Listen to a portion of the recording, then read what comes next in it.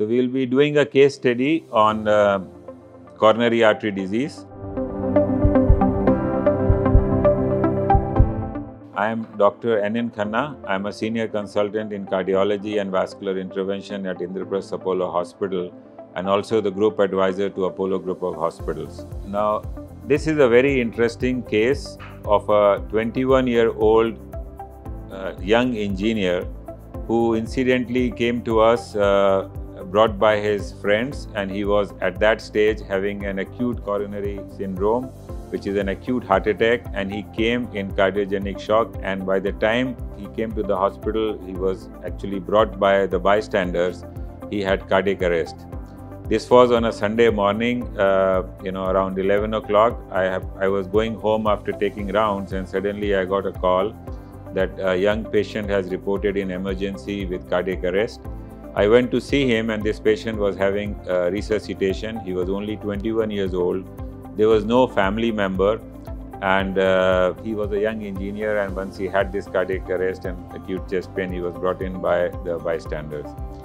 Now, because he was so young and the family was not available, uh, we actually continued uh, trying to resuscitate him.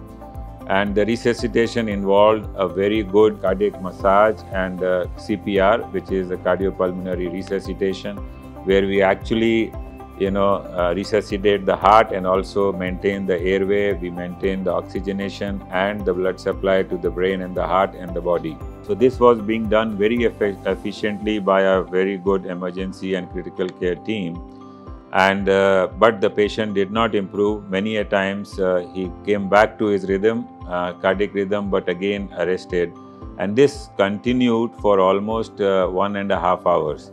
So and while we were doing this, there was no hope. But then I still persuaded them to actually continue with cardiopulmonary resuscitation and uh, we, what we did was also uh, we wanted to prevent the brain damage uh, while we are doing this. So what we know is if the brain does not get a blood supply for five minutes, uh, it is permanently dead. And if it does not get blood supply beyond a minute, what happens is the brain gets uh, partially damaged and this leads to a permanent functional loss or an abnormal uh, brain function when the patient recovers or the patient could be in coma when he when he is alive. So uh, to prevent that for the first time we actually did a core cooling and a brain cooling uh, and I was very persistent and uh, so we called up, up uh, the management of Apollo Hospital that here is a very young patient who is coded and who's already got uh, cardiopulmonary resuscitation for more than one and a half hours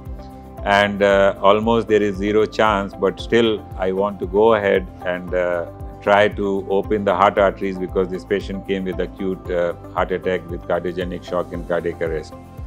So the management uh, readily agreed and we put the patient on uh, life-saving supports and with cardiac massage we shifted for about one and a half hours and brain cooling we shifted this patient to the cardiac catheterization lab which we call the cath lab or cardiac OT and actually took out a big clot from his main heart arteries and tried to resuscitate the heart uh, with uh, intracardiac uh, injections and intracoronary injections of cardiac stimulants, uh, which we call adrenaline.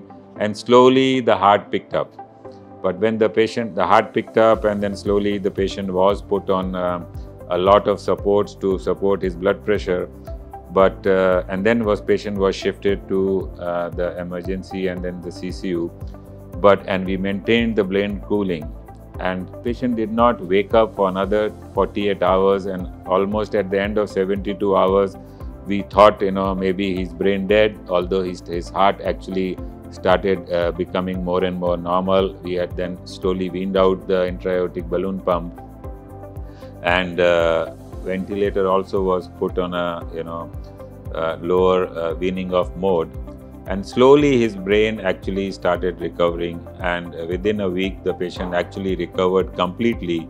And today he is uh, working as a, a, young engineer he's an architect and he's working in a big firm here and he's doing very well. So we have this as a follow-up for more than two years now maybe three years. And uh, this was extensively covered uh, worldwide this story and this came as the first you know headline uh, news in uh, many national and international newspapers because this was the first reported case where a patient who had cardiac arrest for more than one and a half hours actually survived. And not only survived he was he had an emergency angioplasty done in a special way with brain cooling and he recovered completely and is back to functional life.